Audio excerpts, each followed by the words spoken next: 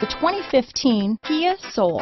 The Soul is quick and ready with its innovative, catchy style, a sharp, roomy, and well-fitted cabin, and a comprehensive list of safety and fun features.